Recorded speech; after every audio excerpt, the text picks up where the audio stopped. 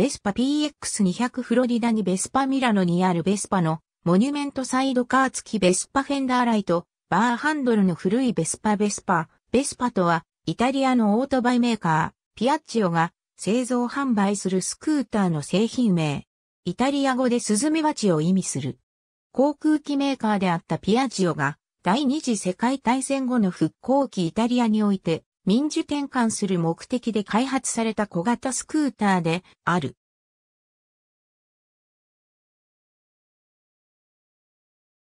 その基本的な設計コンセプトは、航空技術者のコラディーノ・ダスカニオによるもので、従来のオートバイや既存のスクーターにおける既成概念を破却した極めてユニークな構造を持っていた。最初のベスパは1946年に登場した。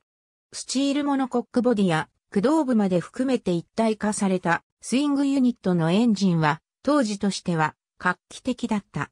航空機の胴体に使われるモノコック構造やタイヤ交換を容易にする前輪の肩持ちサスペンションなど航空機メーカーとして蓄積した技術が使われている。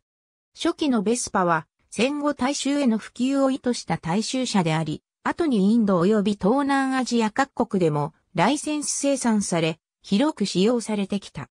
1980年のパリダカルラリーには、ワークスチームを組んで P200 が4台参戦、うち2台が完走を果たしている。